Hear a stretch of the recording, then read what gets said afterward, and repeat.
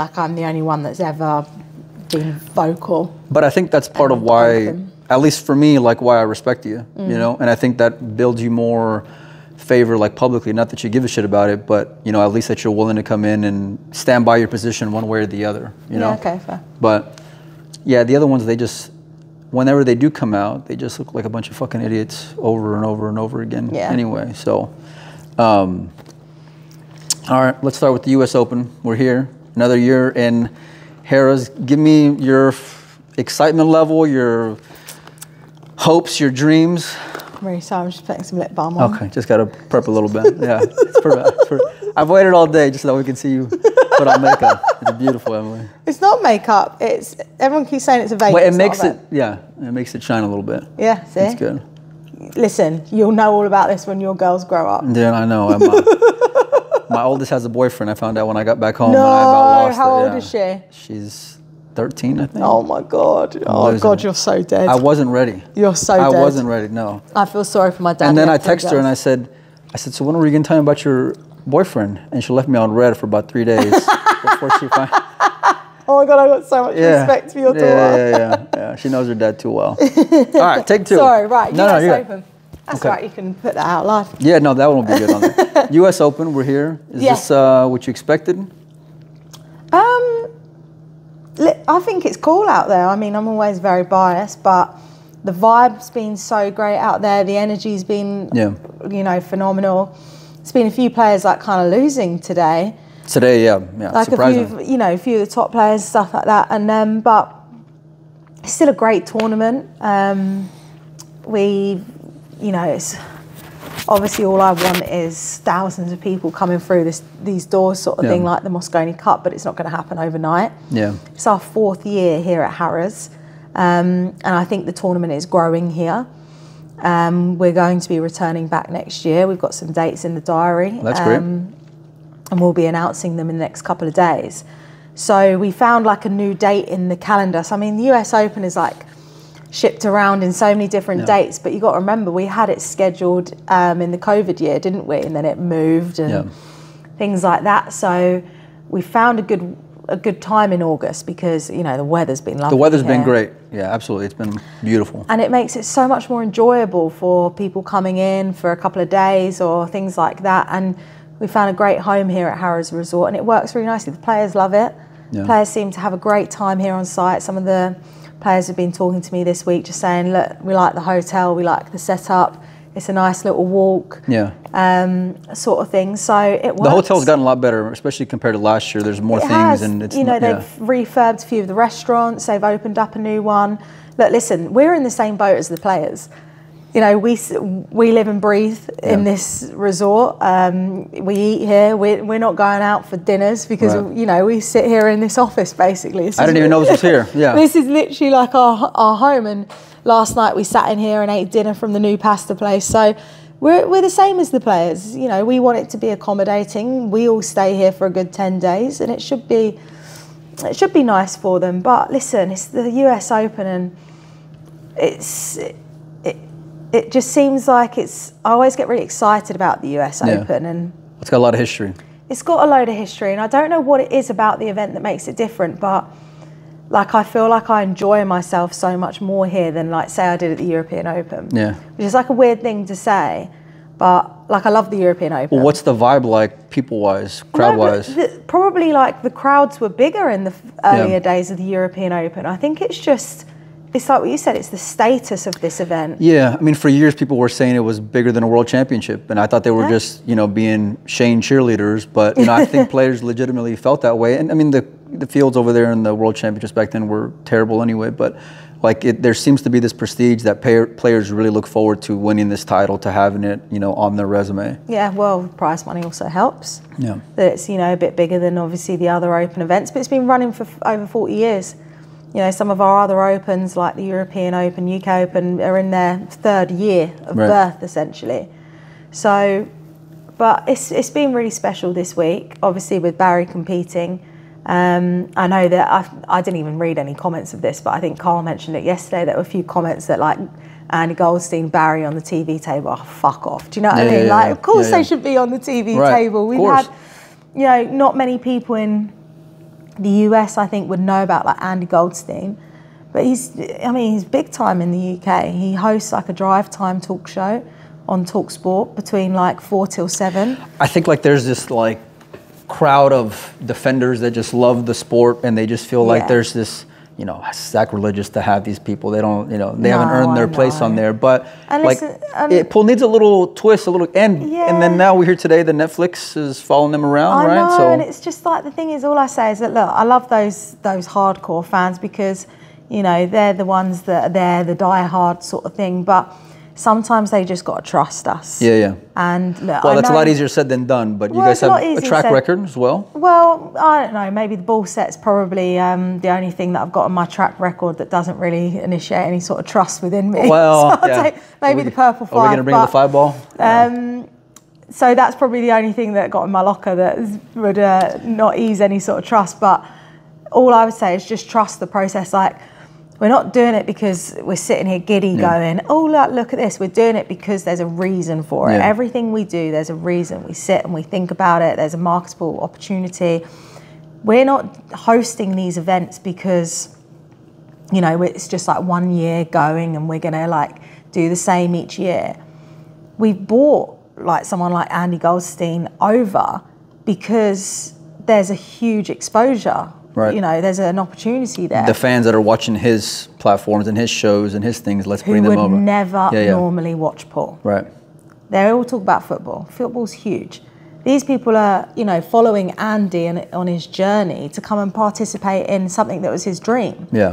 you know, there's a, there's a lot of cross promotion there and a lot of exposure. So, and look, he's out of the tournament now, and you know, we've had some great matches on that TV table, and you know, I think that we try to take wherever we are in the world, and like if we're in the US Open, you'll see that every opportunity we've had, there's always an American on the TV streams. Yeah, I agree with you. Um, and you know, it'll be the same when we go to Hanoi Open. You know, we're gonna obviously it'll be Vietnamese players that are on the streams, Yeah. so it's gonna be different, and it's different to everywhere we go. But that's what makes the different Opens so special. well, let me ask you this: on the note of an open 256, not a full field though. Were these were the qualifiers a good thing, a bad thing? Rubbing it in, I don't you? Oh, no, I mean, you know, let's just. no, it's your fair. fair. Yeah. Um, look, it's it kills me, and, and I think that's why we released the draw so late. Yeah. Because it kills me publishing a draw with buys. Right. I hate it. That's why, like our first day, it was you know kind of like not putting the big names out because obviously they had buys, but there's there's an issue where the qualifiers that we've set, and listen, we're, I'm probably too hard on ourselves with it, but this is the first year of like qualifiers, right? Yeah, we yeah. come out and we said it's the top 128 pros versus unseeded qualifiers, right? And the structure of the qualifiers not 100%. You know, there's you know some organisers haven't even paid us. Yeah. Some organisers were organising it and putting themselves in. Oh, beautiful. you know, like, yeah, yeah, yeah. And so it's kind of like I take it back to maybe two years ago when we would do it first in the ranking events.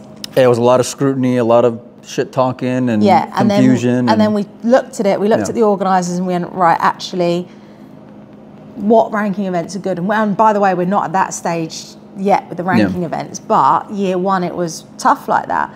Same with the qualifiers. But what I didn't want to do, and when we did like release the you know some spots out, um, it was a case of everyone who signed up for a qualifier got an opportunity to like buy in sort of thing.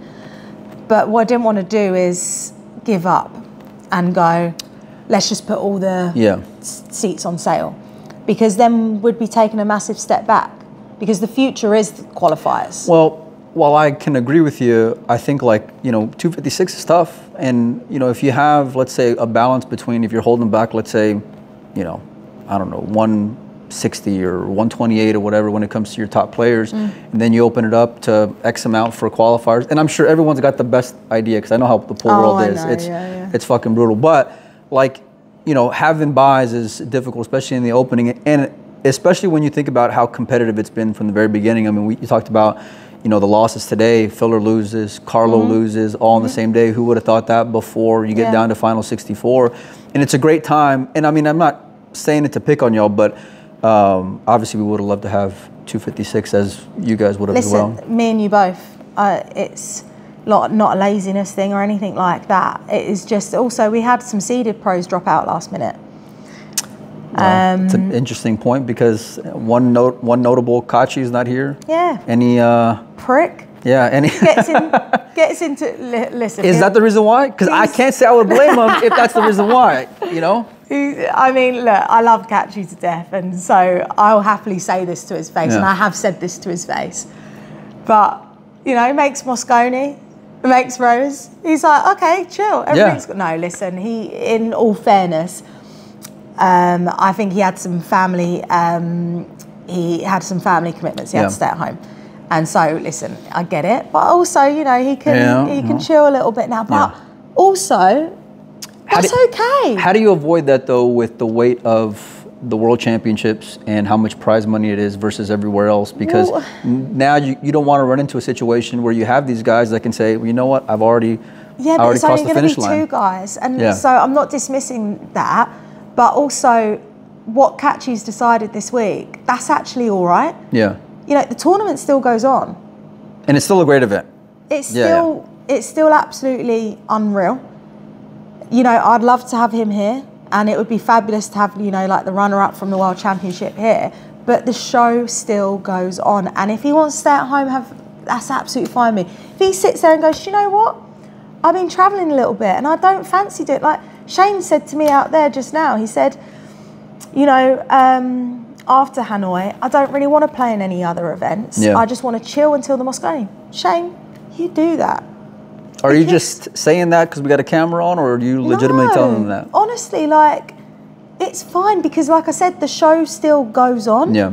Um, the only thing that gives me the needle is when they do it last minute, because Yeah. then I can't fill it up with a seeded player, and that's Right. why I was. That's why I get frustrated. But at the end of the day, like this is this is the beauty of the tour and picking and choosing. The players should be able to sit there and go, do you know what? Yeah, I have a family commitment here. Yeah. Or I fancy going on holiday at Well, this I mean, point. plus the schedule's been The schedule's Tough. it's rough. Yeah, and yeah, the thing yeah. is, it's not going to get any easier. Right. It's not going to get any easier. So if the top players want to, you know, take some time off, go take some time off. They're the only ones that are going to miss out. yeah. So you know, obviously, I'm only joking when I've called Kaci a prick. I, I know he'll understand the banter. I appreciate it by the way from a content standpoint. No, I, do.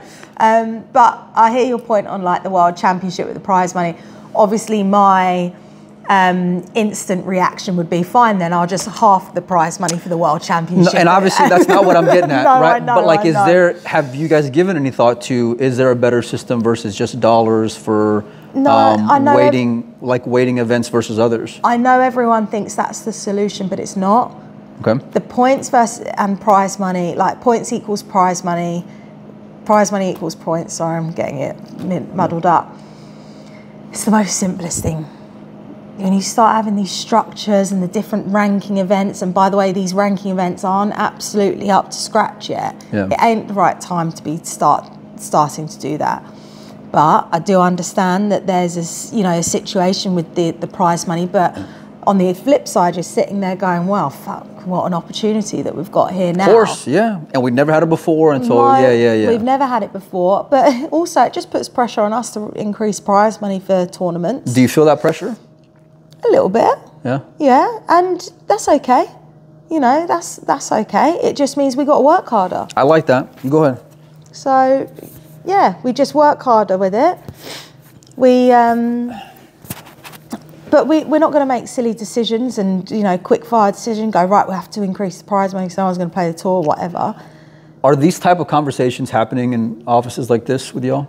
Yeah, you know, Barry's been here this week. Yeah. Um, and if anything, him playing in the tournament has ignited even more passion in him about pool, if that was even possible. Right. But he loves this sport so much, like he adores it. And for him to go out there, like I'm sure everyone's seen that clip of the 2 9 combo. He did great. Yeah, yeah. And if you've seen his facial expression, I wish we had a million Barrys in the in, that, in pool players. I mean, that is the man who has done and achieved so much in life, done so much in different sports. And he sat there and went, What do I want? I want to go play in the US Open. And it genuinely made him happy. and he said that that was something that money couldn't buy. Yeah.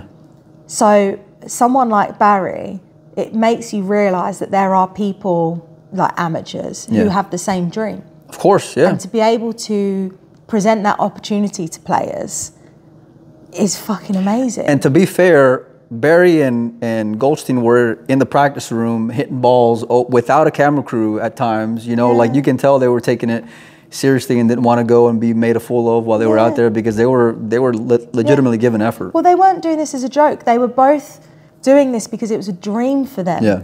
So it's it's like any other amateur who has gone and played in a qualifier that's wanted to. And there's come so many here. stories like that There here. are so. Yeah, I've yeah. been around the arena and I'm talking to people and talking to players, asking them why, you know, they're here and they're doing things like that. And it's a case of that. That's their dream, and they want to, you know, come in and come and play an event like this, play against the likes of Shane Van Boening. That's their dream Yeah. to play out there on the TV table. Can you imagine? So Yeah, there was a story like that last year where like a son played Shane or something or played Sky and his dad had, had signed up for the spot and then I think he passed away so he ended up taking his spot. And it was a great story last year. But like you don't get stuff like that unless you have these events and there's plenty like that. There was like a 76 year old man I think who played um uh God, Oh, he played yesterday. Mar- he no, he played Mario He on the string yes, table. yeah, yeah, I met yeah. him. Yeah. Um, 78, I think. and he got in on a qualifier as well. Yeah. Like there's balance there and it makes sense. And I'm, I'm just asking you just for the sake of being fair to the argument. Mm. But let me ask you this. What's your biggest area of opportunity for you? Like where do you think that you need to do a better job? Fucking hell, all right. Off I go. feel like I'm looking in the mirror. It's like, um, listen, I ask myself that every day. What can we do better? How can we improve? I think it's just a case of we just you just got to listen Yeah.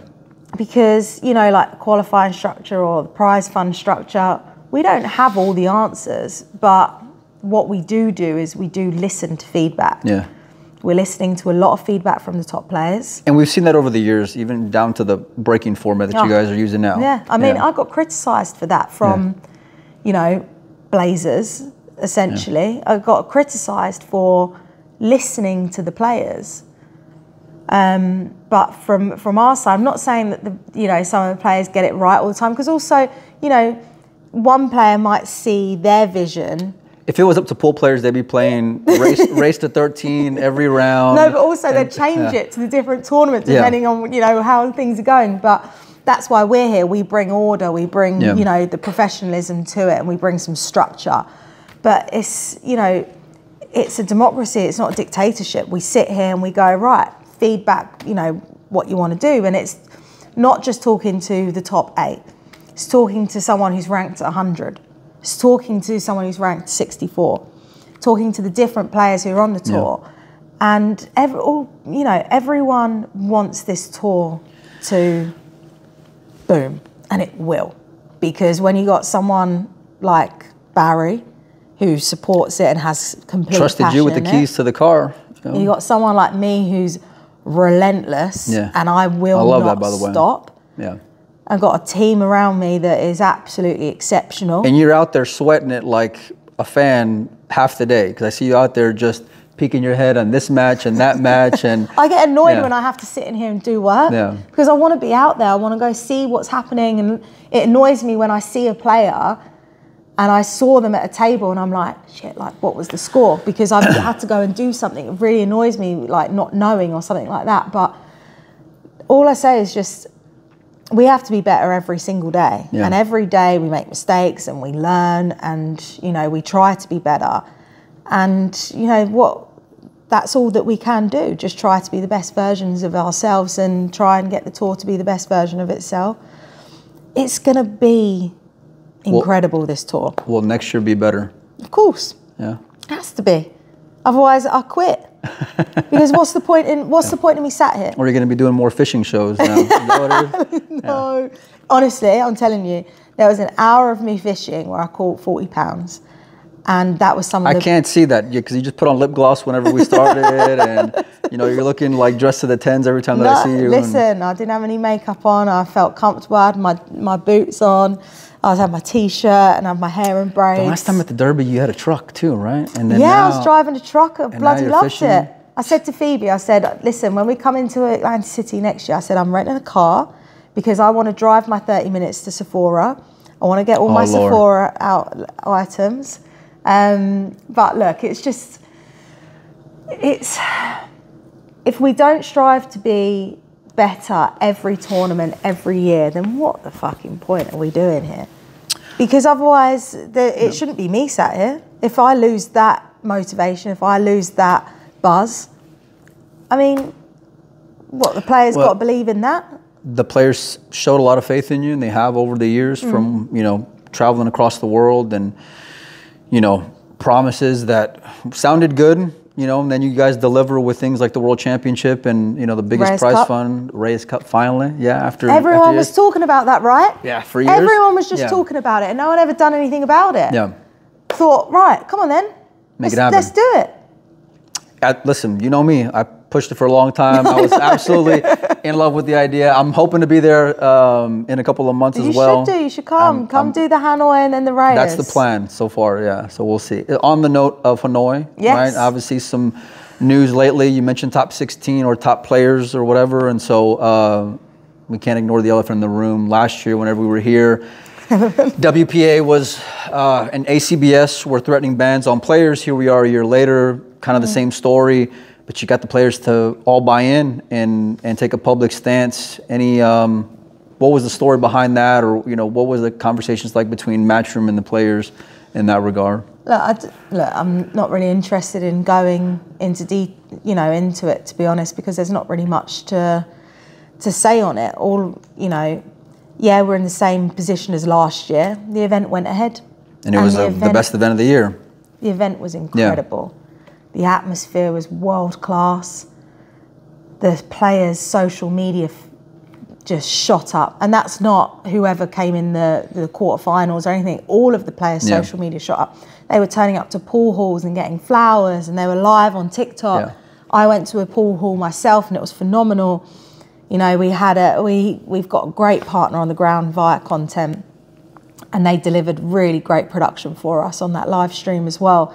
You felt the um, buzz. You felt oh, the buzz, and I've given you shit before about other events where it was like there's no energy in the room, but like in Hanoi, you felt the excitement Oh, and course. electricity out there. And why take that away from the players? Yeah. Why take that opportunity and that experience away from the players? Will Hanoi go on then? Of course, Hanoi is happening. I fly out there in two weeks for meetings. You know, that was all scheduled. That's always been scheduled in. Um, you know, where I'm going out there, I'm looking at the Reyes Cup venue. Oh, people have been asking about that. Yeah, which People are asking about that. But look, Hanoi's happening. It happened last year. Look, we were in the same boat last year. It went ahead. yeah. it's happening. Um, and anything from our side, look, I just go back to the point of we listen to the players. They got a problem, we're here. And whatever happens, listen, I'll, I'll always just support them. They got any problems or anything like that, I'm, I will always fight for them. I'll, I'm, listen, I know I might be a pain in the ass sometimes. No, not you, Emily. but I'll be in their corner fighting for them because we're building a tour for them. And we're not just building a tour so, you know, in a couple of years' time they can, you know, get a bigger house or, you know, they can go on a nice holiday. well, hopefully they can as no, well. no, Yeah. no, wait. We're, we're doing this tour so they can pay off mortgages, so Yeah. they don't have to, you know, just go on holiday. It's life changing. They can provide for their family Yeah. and they can pick and choose when they tr- want to travel around the world. They can set their family up. They can do whatever they want. Like other sports. Exactly. It should be life changing. And in order to present those kind of opportunities for the players, we have to sit there and we have to stay focused. We've got our vision and we just go steaming ahead. Because if we, you know, stop traffic lights here, here, here, Yeah. here, we ain't going to achieve what we need to achieve. Does that put any more personal pressure on you to deliver more for them? Because they're, I mean, you go to bat for them. What happened recently, they're going to bat for you the same way. You know, they're showing faith in you, and they have over the years. You know, but do you feel like Does that motivate you and inspire you to just to keep on for them? Of course, I feel like a huge responsibility for the players because, you know, like we said, we we've told them you're a pro. You know, you're you're part of a pro tour now, Yeah. so we got to bloody deliver. Right. Um, all I'd say is that listen, I'll just never give up. So you're stuffed if you're against me because I will be there Well, right until I love that death. though. I love that. Yeah, I absolutely love that. So it's just, it's, you know, I, unfortunately, I've just got that drain, you know, Yeah. that's in me. And yeah, it might be more And a lot of people echo that about you. You know that I've talked to outside of the matchroom offices. Yeah. Well, the thing is, just, Maybe not the WPA, but other, other ones. Yeah. Thing is, it's just with the players, it's just also they're human beings. Yeah. We all want to do a job that we love. Like, even the team that works in Matchroom Multisport, the moment that they don't enjoy the job, they should go somewhere else. Because we all love what we do. You get that vibe though from your from your crew. Yeah. You really do. but they all work at they work their absolute nuts off. Yeah, they're like little mini relentless Emily's out there. Yeah. And it's fucking brilliant. It is, And yeah. I love them to death. Um, and every one of the people that come into the team have got nothing to do with pool. Not one of them. Probably a good thing, Emily. No, it's good, but all of them all fall in love with the players. Yeah. You know, because it's their journey. Yeah, yeah. It's again presenting life-changing opportunities for them. Look at Mickey. I mean, look at Yeah. Mickey Krause. He's Yeah. come up to me and we've said, "Look, Mickey, you got two Instagram accounts. You ain't posted even a picture. What's going on?" Yeah, and yeah. he's like, "You know, shy Mickey." Yeah. And you, and I hope he doesn't mind me saying this, but he's like, you know, I don't really know what to say, what to post. You know, I'm quite camera shy. I said, Mickey, I'm just as bad as you. And he's got a great fucking story. He's know? got a Yeah. brilliant story, and you know, and we've sat with him today, and we've said, listen, you can do this on your Instagram, you can do that Yeah. because, listen, that's that's nothing. That's got nothing to do with us. Right. It's his profile, but I want them to be able to have brands attached to them, so then they can get sponsorship Yeah. and they can get more of an income, so then they can have their travel expenses, travel around the world. Yeah. Want to promote their profiles. We want to show their personalities. It's when people try to. I always find it funny when the players act in a certain way when a camera's not on them. And then they get a bit more reserved when a camera goes. I think, no, come on, show me your oh, emotion. Oh. God, you're preaching to the choir there because We I want had that raw some players where they're just like mumbling as soon as the camera turns on, and when the camera's off, they're fucking, they're really Yeah, animated and great. like I'm the just cue like, goes down. I'm trying to like pull it out of them. I know all too But well. these guys, these, I love these guys. yeah, And it's not for the pressure or anything, but I feel responsible to deliver for them because if we don't do it, what Yeah. else is going to happen? well, we, I mean, If we withdraw yeah. from pool, yeah, what happens realistically? it's it's crazy to think about just in the last five plus years the amount of events that you guys have either taken on or developed the calendar as much as i bitch complain about the traveling and i'm sure they do to some extent as well it's like there's opportunity for them and it's great because there's pool all year round and you're wanting to watch all year round we didn't get that before Yeah. at all Well, you got like, you got TV table, you got stream table, you got TikTok now you got table. tiktok table what I that I Yeah. love it. I, Yeah. You know, we thought about it like two days ago. Everyone killed me because I chain. We were actually just doing this two streaming tables and playing the TV table from the last 16. I was sat in this office um, three days before the event and I thought, fuck it, let's just play it on the TV table. Let's re-rig the cameras. Let's do it. Like, why not? And then let's have a TikTok camera.